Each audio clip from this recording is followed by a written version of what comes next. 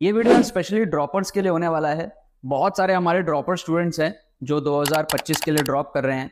और drop year में कुछ कुछ चीज़ों का ध्यान आप लोगों को रखना बहुत ज़्यादा ज़रूरी है। अदरवाइज़ आपकी रैंक जो अभी आई थी 2025 में भी वही आएगी या फिर उससे भी खराब रैंक आपकी हो जाएगी। ठीक है? तो इस वीडियो को स्पेशली ड्रॉपर्स के लिए जो भी ड्रॉप ड्रॉप ले रहे हैं, जो भी बच्चे, उनके लिए बहुत ज़्यादा इंपॉर्टेंट है समझना। सबसे पहले तो यार, हमारा जो ट्रिक्स का बैच है 2025 के लिए वो मैंने लॉन्च कर दिया है। आपने देखा 2024 के अंदर में आप लास्ट मोमेंट में ट्रिक सीखने के लिए आए थे, लेकिन आप बहुत सारे स्टूडेंट्स उसमें से हो सकता है ढंग से समझ ना पाए हो, ढंग से सीख ना पाए हो कम टाइम की वजह से, या फिर इंप्रूवमेंट हुआ हो बट उतना ज़्यादा इंप्रूवमेंट नहीं हुआ हो कि आपको सीट मिल गई कॉलेज के अंदर में, जिस वजह से आपको ड्रॉप लेना पड़ रहा है। तो यार एक स्ट्रक्चर्ड तीन महीने का प्रोग्राम मैं लेकर के आया हूँ, जिसमें आप आराम से अच्छे पेस में जो है ट्रिक्स को कवर कर सकते हो, और ये बैच जो आपका है अगर आप इसको कवर कर लेते हो तो आपको फिर लास्ट मोमेंट पे रश नहीं होगा 2025 के पहले कि आपको लास्ट मोमेंट में फिर से ट्रिक्स सीखने के लिए आना पड़ रहा हो। ठीक है? तो उस चीज़ को ध्यान में रखते हुए बच्चों की डिमांड की वजह से यहाँ पर जो इस बैच को लॉन्च किया है, इसके अंदर में आपको मेरी पर्सनल मेंटरशिप भी मिलेगी तीन महीने और मॉक टेस्ट भी होंगे इसके अंदर में, आपको weekly practice problems DPP surprise test सारी चीज़ें इसके अंदर में होंगी। मेरे साथ आप पर्सनली इसके अंदर में जो है कनेक्टेड रहोगे। लिंक डिस्क्रिप्शन में जाके आप एनरोल कर लो। 50 परसेंट डिस्काउंट है अर्ली बर्ड ऑफ़र जो कि कुछ दिन चलेगा। उसके बाद में 50 परसेंट डिस्काउंट जो है कंप्लीट एंड हो जाएगा for the first hundred students इसको जो है लेकर के आए हैं। ठीक है? और चौदह तारीख से ये बैच जो है स्टार्ट हो रहा है तो आप लोग जल्दी इनरोल कर लो फिफ्टी परसेंट डिस्काउंट के अंदर में। उसके बाद में बैच की प्राइस बढ़ जाएगी। आप समझो यार ड्रॉपर के अंदर में अगर आपकी रैंक इस साल, ठीक है, आपने ट्वेल्थ के साथ दिया, आपकी रैंक क्या आई? पहले तो वो देखो, आप कमेंट करके बताओ कि आपकी इस साल रैंक कितनी आई? जेई मेन में या जेई एडवांस में स्पेसिफिकली आप जेई मेन का बता देना कि आपकी रैंक कितनी आई मैक्सिमम स्टूडेंट्स जेई मेन वाले हैं जो ड्रॉप ले रहे हैं। अगर जे एडवांस भी दिया तो आप उसकी भी रैंक बताना। अगर तो देखो आपकी रैंक पचास हज़ार थी लेट से एक एग्ज़ाम्पल दे रहा हूँ। तो आपकी करंट वैल्यू पच्चीस हज़ार रैंक के अंदर है। मतलब अगर आप अभी 2025 के जो एस्पिरेंट्स हैं, जो अभी क्लास ट्वेल्थ में आए हैं, आप उनके साथ एग्ज़ाम दोगे ना? तो अगर आपकी रैंक पचास हज़ार के आसपास थी तो अगर आज एग्ज़ाम लिया जाए 2025 के एस्पिरेंट्स के साथ में आपका तो आप पच्चीस हज़ार के अंदर रैंक ले आओगे आप। अगर आप एक लाख रैंक लाए थे, आप पचास हज़ार के अंदर रैंक ले आओगे। क्योंकि ट्वेल्थ वाले बच्चे जो अभी आए हैं ट्वेल्थ में, उनका तो सिलेबस हुआ ही नहीं है ना। समझ रहे हो? राइट अगर आप मान लो दो लाख रैंक लाए और आप ड्रॉप कर रहे हो तो आपकी करंट पोटेंशियल एक लाख के अंदर है। मतलब आप अगर आज एग्ज़ाम दोगे 2025 के बैच के साथ में तो आप एक लाख के अंदर रैंक डेफिनेटली वहाँ पे लाओगे, क्योंकि बच्चे अभी नए हैं जो क्लास ट्वेल्थ के अंदर में आए हैं, बहुत सारों का सिलेबस भी कंप्लीट नहीं हुआ। इनफैक्ट हो सकता है आप उससे भी बेटर रैंक लाओ। तो सबसे पहले तो अपनी करंट स्थिति को देखो कि आपकी करंट स्थिति क्या है। समझ गए? जो रैंक आपका इस साल आया, उसको मत देखो। बहुत सारे बच्चे क्या है, देखते हैं, इस साल मेरी बीस हज़ार रैंक आई। अब अगले साल मेरे को दस हज़ार रैंक लाना है या पाँच हज़ार रैंक लाना आप ऑलरेडी दस हज़ार, पाँच हज़ार पे हो। पहले तो ये समझो। The probability of you cracking the exam with a good rank is much more क्योंकि आप ऑलरेडी एक बार एग्ज़ाम दे दिए हो, आपने फियर एंग्जाइटी झेल लिया है नर्वसनेस को कैसे हैंडल करना है एग्ज़ाम प्रेशर कैसे हैंडल करना है, आपने थोड़ी दुनिया देख ली है compare to class twelve aspirants और क्लास ट्वेल्व एस्पिरेंट्स क्या इलेवन ट्वेल्व में जब बच्चे रहते हैं, काफ़ी हवा में रहते हैं, आप भी बहुत ज़्यादा हवा में रहे होगे एक, दो साल पहले. बट अब आपको रियलिटी समझ आई जेई की रियलिटी समझ आई, आपको समझ आया कि भाई नाइन्टी परसेंट बच्चे तो सौ मार्क्स भी नहीं ला पाते हैं.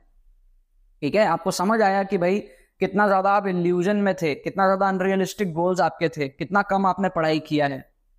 राइट? सो अब आपको कोई भी ऐसा काम नहीं करना है जिससे कि आपकी जो करंट रैंक है सपोज़ कर लो आप एक लाख रैंक लाए इस साल, अब आपकी करंट रैंक कितने मैंने बताई? पचास हज़ार के अंदर।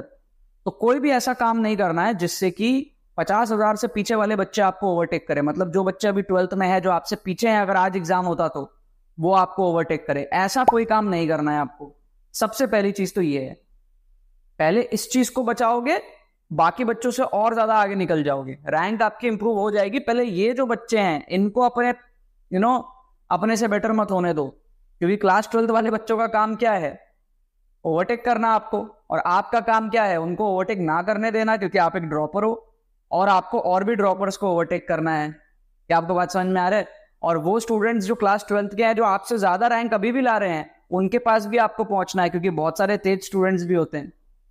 सो so, इसमें क्या है मेजरली कुछ कुछ मिस्टेक्स बच्चे करते हैं। ड्रॉप ईयर में आप जैसे आए हो तो आपका एक रेस है। एक रेस आपका एंड हुआ अब एक नया रेस स्टार्ट होगा। तो आप लोग गलती क्या करते हो? बहुत ज़्यादा थ्योरी के अंदर में चले जाते हो। बहुत सारे बच्चे बहुत सारे कोचिंग में भी क्या होता है आप चैप्टर वन से थ्योरी पढ़ने स्टार्ट कर देते हो। अनवांटेड चीज़ों का नोट्स बनाना ये वो करना आप स्टार्ट कर देते हो। वहाँ क्लास ट्वेल्थ का बच्चा आपको ओवरटेक कर लेता है क्योंकि वो मोमेंटम में है। उसको खेल समझ में आ रहा है। आपको खेल समझ में आ गया उसके बाद भी आप क्या करते हो? क्लास नोट्स बनाते हो। थ्योरी है ना? मुझे याद है, मैं जब ड्रॉप ईयर में कोटा गया था, मेरी काइनामेटिक्स की क्लास थी और मुझे नोट्स टीचर बता रहे थे, अच्छे रेपुटेड कोचिंग के अंदर में नोट्स लिखाया जा रहा था डिस्टेंस क्या होता है डिस्प्लेसमेंट क्या होता है, क्योंकि कोचिंग का वो करिकुलम है। अब अगर वो ये चीज़ नहीं कराएँगे, कोई बच्चा उठ के बोल देगा, ढंग से नहीं पढ़ा रहे हैं ऑर्गेनाइज वे में नहीं पढ़ा रहे हैं। बट मेरे को एज अ ड्रॉपर पता था कि मुझे ये सारी चीज़ों को सीरियसली नहीं लेना है। समझ रहे हो? एक्चुअल में ऐसा होता है। आप देखोगे जो नोट्स होते हैं, जो आपके स्टडी मटेरियल्स होते हैं, उसमें भी थ्योरी वगैरह रहती है। आप बच्चे उसको पढ़ने लग जाते हो। वो टाइम में क्लास ट्वेल्व का बच्चा आपको ओवरटेक कर लेगा। दूसरी आपकी गलती ये होती है कि क्योंकि आपने दो साल का ये जो बर्डन है झेल कर आपको एक ब्रेक मिला है, आप थोड़ा सा डिस्ट्रैक्शन में चले जाते हो। लड़कियाँ होते हैं जो लड़कीबाजी में चले जाते हैं ज़्यादा।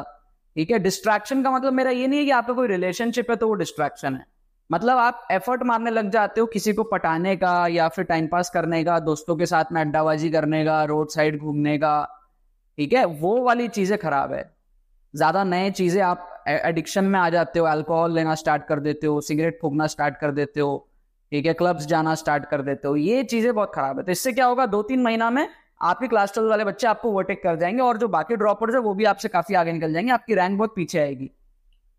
तो मैं तो कहता हूँ, अगर डिस्ट्रैक्ट होना भी है तो अभी मत हो। जब जेई का एग्ज़ाम आएगा ना, उसके पहले, एक आध महीने पहले मतलब अप्रैल अटेम्प्ट की मैं बात कर रहा हूँ, जब बोर्ड एग्ज़ाम होता है एक्चुअली मतलब जनवरी अटेम्प्ट तक तो एकदम डिस्ट्रैक्ट मत हो। ठीक है and then if you are serious for I तो आपको आगे भी नहीं होना है। बट जनवरी अटेम्प्ट तक आप चार पाँच महीना की बात है, देखो। चार पाँच महीना अगर आप डिस्ट्रैक्ट नहीं होगे ट्वेल्थ वाले बच्चों को अपने से आगे नहीं आने दोगे, बाकी बच्चों से बेटर करोगे, आपकी रैंक आ जाएगी। जनवरी में एनआईटी फिक्स कर लो, छह महीने की बात है। उसके बाद में फिर थोड़ा डिस्ट्रैक्ट होना हो, थोड़ा चिल करना हो, कर सकते हो, क्योंकि उस टाइम पे वो बच्चे बोर्ड्स के लिए बिज़ी रहेंगे। वो तब आपको उतना ज़्यादा ओवरटेक नहीं कर पाएँगे जो अभी कर लेंगे और जनवरी अटेम्प्ट में आपकी स्पॉट ले जाएँगे। क्या आपको बात समझ में आ रहा है? और प्रैक्टिस क्वेश्चन ज़्यादा करो थ्योरी कम पढ़ो। ये नहीं कि सिर्फ़ थ्योरी पढ़े जा रहे हैं, वही सेम गलतियाँ दोबारा मत करो। देखो आपने क्या क्या गलतियाँ करी अपने पढ़ाई में। ठीक है एमसीक्यूज की ज़्यादा सॉल्विंग करो टेस्ट ज़्यादा दो पीवाई पीवाईक्यूज ज़्यादा सॉल्व करो। आपने पीवाईक्यूज ज़्यादा सॉल्व नहीं करे, ये भी एक रीजन है आपका एग्ज़ाम क्रैक नहीं होने का या फिर अच्छे रैंक से क्रैक नहीं होने का। ठीक है? सो so, हमारा जो ट्रिक्स कोर्स का बैच है वो एक कंप्लीट प्रोग्राम है। उसके अंदर में टेस्ट मॉक टेस्ट सारी चीज़ें होंगी। तीन महीने में आपकी प्रॉब्लम सॉल्विंग एबिलिटी काफ़ी ज़्यादा बढ़ जाएगी। तो उसमें आप एनरोल कर सकते हो। ड्रॉपर वाले बच्चों को स्पेसिफिकली मैं रेकमेंड करूँगा क्योंकि देखो इलेवन ट्वेल्थ वाले बच्चे आपको पता है थोड़ा सा हवा में होते हैं। उनको ट्रिक्स और ये टेक्निक्स और ये सारी चीज़ें ऐसा लगता है उनको कि हम ये लगाएँगे। आपका भी शायद पहले ऐसा ही था बट फिर आप मेरे चैनल पे आए आपने सीखा समझा। तो अब आपके पास में अपॉर्चुनिटी कि आप उस चीज़ को बढ़िया तरीके से सीख लो। नहीं तो फिर आप देखना जनवरी के पहले आप आओगे, रश में। ठीक है? इसीलिए। तो उसका लिंक आपको डिस्क्रिप्शन में मिल जाएगा, जाके आप लोग एनरोल कर सकते हो। जिन भी स्टूडेंट्स को फाड़ना है जेई के अंदर में 2025 के अंदर में हाईली रिकमेंड कर रहा हूँ आपको कि rank booster tricks course batch में आप लोग आ जाओ। चलो, बाकी तो बस यही बात है। मिलते किसी अपने नेक्स्ट वीडियो में। Thank you